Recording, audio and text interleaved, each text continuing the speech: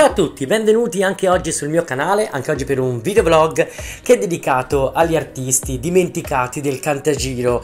Stiamo facendo questo spin-off che va proprio di pari passo con la storia del Cantagiro e raccontando proprio gli artisti che col passare del tempo ci siamo dimenticati, ma che il Cantagiro in realtà l'hanno fatto in alcuni casi anche con un buon successo, ma che oggi non ricordiamo più molto bene. Allora, quindi sono qui per ricordarveli, ok? Siamo arrivati con questo che vi presento oggi proprio alla, alla sesto vlog dedicato agli artisti dimenticati del Cantagiro e mi concentrerò sul Cantagiro che già vi ho raccontato, cioè quello del 1970 quello vinto da Paolo Mengoli, ma dove all'interno c'erano anche altri artisti proprio della sua categoria che invece non hanno avuto la stessa fortuna di Paolo Mengoli oppure hanno fatto altre scelte. Oggi ve li racconto. Iscrivetevi al canale, attivate la campanella, se vi interessa questo argomento vi ricordo che nel mio canale c'è l'intera playlist che parla della storia del Cantagiro con tutti gli spin-off, si chiama proprio così la storia del Cantagiro. Oggi vi racconto i cantanti dimenticati del Cantagiro del 1970. Buona visione e benvenuti sul mio canale.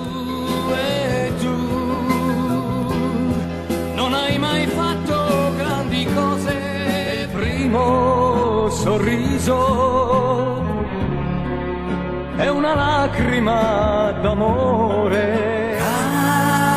Cara, è solamente un'ora che sei donna. Nel sorriso di una donna, la più bella. Il primo cantante dimenticato di cui parlo oggi si chiama Guido Renzi eh, che ha partecipato al Cantagiro del 70 nella categoria B, la stessa categoria dove ha visto appunto come vincitore Paolo Mengoli. Guido Renzi invece è un artista che eh, aveva già partecipato proprio come Mengoli al Cantagiro anche dell'anno precedente. Eh. Comunque nasce ad Orvieto questo artista il 13 febbraio del 39, cantante, scrittore italiano e dopo aver conseguito il diploma di ragioneria si iscrive alla facoltà di lettere e filosofia alla Sapienza di Roma. Il suo esordio nel panorama musicale italiano è nel 67 con eh, un contratto ottenuto alla RT Club. Insieme al gruppo I-1 incise nel 69 Amica mia, una canzone che partecipa al Cantagiro di quell'anno. Poi ritorna al Cantagiro nel 70 lo fa con Tanto Cara, un, eh, un disco che gli porta fortuna come anche il precedente perché pensate che entrambe le canzoni entreranno in classifica e raggiungeranno almeno per una settimana delle posizioni molto alte. Ad esempio, Amica mia, la canzone eh, del 69, almeno per una settimana arriva al primo posto della classifica dei dischi più venduti, mentre nel 70 raggiunge fino alla seconda posizione con Tanto Cara. Va al disco per l'estate del 72, la canzone è Così, scritta da Roby Crispiano. L'anno successivo invece va al canta estate con Qui nel buio. Nel 76 è protagonista della commedia per bambini Ciao Luna, recita e canta le canzoni Storia del bene e Storia del male, anche queste pubblicate in 45 giri.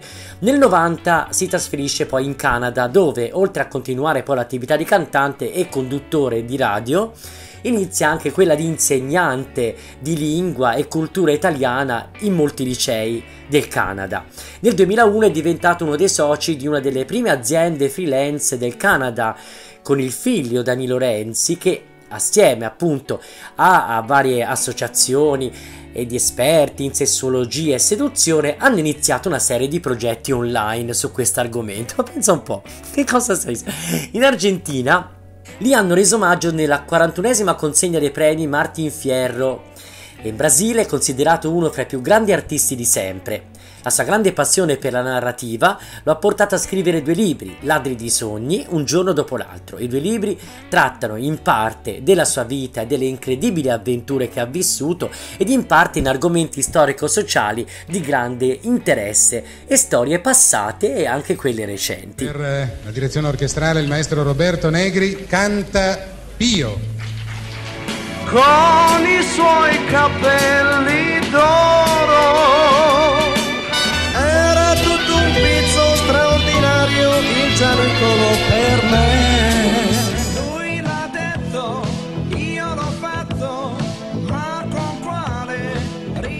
Un altro artista di cui ci occupiamo oggi si chiama Pio, Pio Trebbi. Allora, questo cantante è nato nelle Marche, poi si trasferisce in Romagna, si appassiona alla musica, a 20 anni si trasferisce di nuovo e va a Milano e ottiene un contratto con il clan Celentano. Infatti viene prodotto da Celentano, eh? partecipa al Festival di Sanremo del 70, la canzone si chiamava Nevicava a Roma e poi va a Sanremo di nuovo, lo fa nel 71 con Occhi bianchi e neri, ma nonostante il successo popolare ottenuto, in entrambi i casi non viene mai ammessa alla finale, eh, questo Pio. Prende parte al Cantagiro del 70, la canzone Grande come il mare, e nello stesso anno con il pianista di quella sera partecipa anche a un disco per l'estate. Passa poi alla Fonicetra, perciò abbandona il Clan Celentano e incide per la Fonicetra una canzone che si chiama Dietro i suoi occhi ma anche un ottimo rock and roll in puro stile celentaniano intitolato You Got Wise, eh? ma anche un pezzo un po' tutto rock and roll. Nell'81, e qui facciamo quindi un salto, dopo un periodo di difficoltà eh, artistiche, ritorna con un disco che si chiama Due ali blu eh, dove fra l'altro nei credits compaiono i ragazzi del clan eh, come accompagnamento musicale e addirittura Celentano come produttore, perciò in realtà diciamo questo mm, legame con Celentano non si è mai spezzato. Eh. Tra gli anni 80 e 90 pubblica altre nuove incisioni, fra le quali La Terra di Romagna, L'Uomo Chimico, L'Uomo di Las Vegas, entra a far parte dell'orchestra di musica da ballo I Principi, con la quale per svariate stagioni fa molte tournée in giro per l'Italia. Nella seconda metà degli anni 90, grazie anche all'iniziativa di alcune etichette che iniziano a stampare molti successi di cantanti degli anni 60 e 70, anche Pio riesce a ridistribuire quasi totalmente il suo repertorio discografico su supporti digitali, pubblicando molte raccolte, tra le quali Pio in concerto, Pio canta i successi del celebre, riscuotendo anche un buon successo e vendendo anche diverse copie. Nel 99 pubblica un album di successi vecchi e nuovi, condiviso con l'amico Gino Santercole, anche lui chiaramente facente parte del clan, e si chiama L'ultimo del clan, eh, contiene canzoni che portano il titolo omonimo, scritta proprio insieme allo stesso Santercole. Celentano, dopo molti anni in cui non ha avuto più rapporti di collaborazione artistica con loro, addirittura li ospita in una puntata del suo programma televisivo, francamente me ne infischio. Nello stesso anno pubblica anche il suo primo libro che si chiama Perché sono rimasto Pio. Continua l'attività concertistica, si esibisce poi con Giacomo Celentano il figlio di Adriano. Eh? Nel 2003 pubblica anche un nuovo album, si chiama Sogno Sant'Arcangelo, prodotto dalle edizioni Casadei Sonora e di Riccarda Casadei e partecipa a questo disco anche il poeta Tonino Guerra. Anche questo album è corredato da un fumetto di Roberto Salvetti su sceneggiatura dello stesso Pio. Nel 2003 il Presidente della Repubblica Italiana Carlo Azerio Ciampi lo nomina Cavaliere della Repubblica. Nel 2006 pubblica un DVD Pio in concerto. In seguito torna a collaborare con Gino Santercole, col quale incide il brano Valentino Vai, dedicato al campione motociclistico Valentino Rossi. Presosi una lunga pausa dall'attività di cantante, si dedica alla scrittura di molti libri, ha scritto minime e massime a tempo di rock e il più recente, l'ultimo del clan, Tutta la verità, racconta tutta la verità, deve essere interessante questo libro. La figlia Federica Trebbi ha intrapreso anche lei l'attività di cantante. Se sapessi, mio caro. Vi sono più di 1100 posti musica Agip per cambiare la cartuccia già ascoltata. Grazie. Ai ai ai ragazzo, se mi fai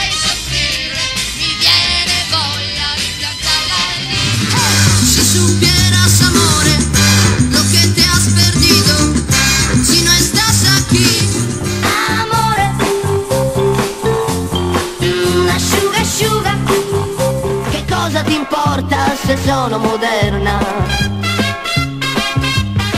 Se non mi piace... Al Cantagiro del 1970 partecipa nella categoria delle nuove proposte anche una certa Valeria Mongardini in realtà pseudonimo di Loredana Mongardini, nata a Roma il 21 maggio del 51, tuttora cantante e anche attrice italiana. Dopo aver lavorato nel balletto di Don Lurio, di cui è stata capogruppo, firma un contratto con la RCA Talent e debutta come cantante nel 69. Partecipa quindi a Sanremo, lo fa nel 70 con Ai Ai Ragazzo, canzone scritta da Migliacci, Umberto Napolitano e Mario Vicari, cantata in abbinamento con Rita Pavone. Però non riescono, e lo ricordiamo eh, anche nella storia della Pavone, non riescono ad andare in finale. Nello stesso anno partecipa al Cantagiro del 70 con Addio Città Vecchia, che poi in realtà era una cover di American Woman eh, dei Guess Who, con il testo in italiano di Claudio Baglioni. Eh. E, mm, poi cosa succede? Succede che lei eh, era sempre stata molto incerta su questo, non sa bene se fare la cantante o fare l'attrice e alla fine cosa sceglie? Di fare l'attrice e quindi si dedica al cinema e usa poi il suo vero nome, perciò si chiamerà Loredana Mongardini al cinema, non più Valeria Mongardini. La sua carriera eh, discografica perciò è molto corta, ha fatto solamente 4 singoli fra il 69 e il 70, di film sono un po' di più, sono circa 8 e questa era la storia di Valeria Mongardini Loredana. Mentre muoio guardando il tuo viso nella testa. Volevo sparire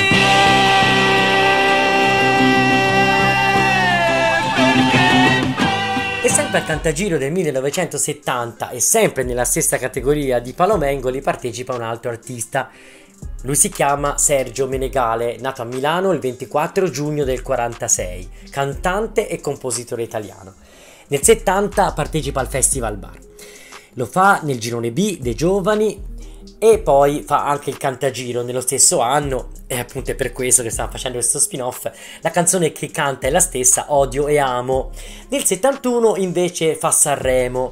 Il brano si chiama Il sorriso, il paradiso, scritto da Gianni Del Rico, che si classifica a quattordicesimo posto, perciò sarebbe l'ultimo fra i finalisti in pratica. Nell'84 ha collaborato con Renato Pareti a una colonna sonora, che era Il futuro è donna. Questo è il titolo del film, diretto da Marco Ferreri, interpretato da Ornella Muti e la Scigulla. Nel 92 partecipa per la prima volta allo Zecchino d'Oro, chiaramente come autore, con la canzone eh, che si chiama La canzone di Chian. Da allora poi scrive e compone otto canzoni per lo Zecchino d'Oro. L'ultima in ordine di tempo si chiama Dino l'Imbianchino che ha partecipato alla 48esima edizione dello Zecchino, quella del 2005 compresa una vincitrice dello Zecchino d'Argento ed è autore anche del testo italiano del brano giapponese La pioggia, sempre per lo Zecchino d'Oro, in questo caso il quarantesimo Zecchino d'Oro, quello del 97. Lui, la sua carriera, diciamo, di cantante non è molto lunga, ha fatto 4-45 giri fra il 70 e il 76. La sua attività continua come autore di canzoni per altri. If you find you're tired of crying, will you call my name? L'ultimo artista di cui ci occupiamo oggi, chiaramente dal Cantagiro del 70 nella categoria dimenticati del Cantagiro, si chiama Jordan. In realtà il vero nome è Franco Mammarella, un artista cantante italiano nato a Chieti il 18 ottobre del 48. Allora, lui viene scoperto come cantante da Vincenzo Micocci, ottiene nel 69 un contratto con la HIT Sotto questa etichetta pubblica l'anno dopo il suo primo 45 giri che si chiama Il colore dell'amore, un brano con cui partecipa al Cantagiro del 70. Poi dopo Jordan passa alla Seven Records, l'etichetta del maestro Giuliano Faccioni, e viene distribuito dalla RCA Italia. Quindi cosa fa? Con questa etichetta va a Sanremo nel 71 eh, con una canzone che si intitola Lo schiaffo eh, in abbinamento con i Gents, si esibisce accompagnato dai Middle of the Road, però non riesce ad andare in finale. Nel 71 torna al Cantagiro, e qui facciamo un po' di spoiler, e lo fa con la canzone La Farfalla. Allora vince il girone B nella stessa manifestazione l'anno successivo, in cui si presenta con il gruppo FM2, formato da elementi di diversa nazionalità, c'era dei Sumner ad esempio, dei Primitives, l'abbiamo già nominato anche per la storia dei eh, grandi grandi camaleonti e poi ci sono altri artisti che hanno fatto musica in altri gruppi, proprio crea un gruppo veramente di grandissimi musicisti. E propone una canzone che si intitola Sherry Sherry, che era scritta da Paolo Dossena e Lili Greco. Il brano sul retro avrà It's Over, una canzone scritta da Dossena con Paola Merigo Cassella e da eh, Mary Cocciante. Dopodiché abbandona le scene e decide di non fare più musica. La sua attività quindi eh, si racchiude fra il 69 e il 72.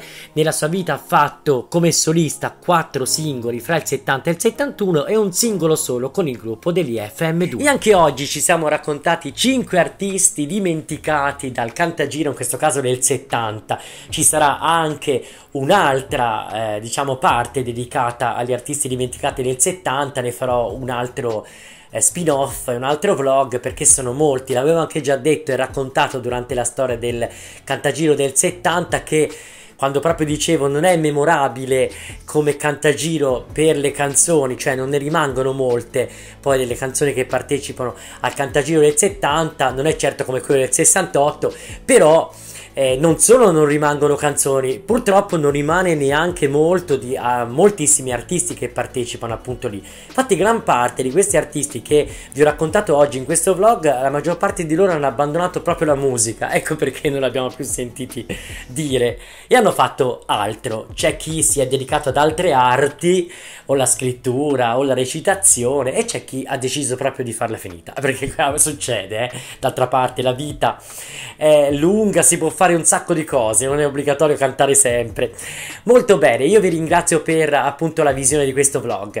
Eh, vi invito, se vi piace l'argomento, a entrare nel mio canale, guardare l'intera playlist dedicata alla storia del Cantagiro. Dentro troverete tutte le puntate della storia del Cantagiro dal 62 in poi, ma troverete anche tutti gli spin-off, cioè la storia di chi ha vinto il Cantagiro, ma anche la storia di chi appunto invece il Cantagiro l'ha fatto, ma eh, l'abbiamo dimenticati perché col passare del tempo hanno perso la loro popolarità. Voi vi chiederete, non l'ho mai detto, eh? Ok, è vero. Voi vi chiederete perché quest'anno ti dedichi così ampiamente alla storia del Cantagiro e c'è un perché, perché il Cantagiro quest'anno compie 60 anni ed era giusto dedicare a questa grande manifestazione un anno intero di racconti, va bene? Perfetto, io vi ringrazio chiaramente per la visione e vi aspetto alla prossima volta, ciao Dale!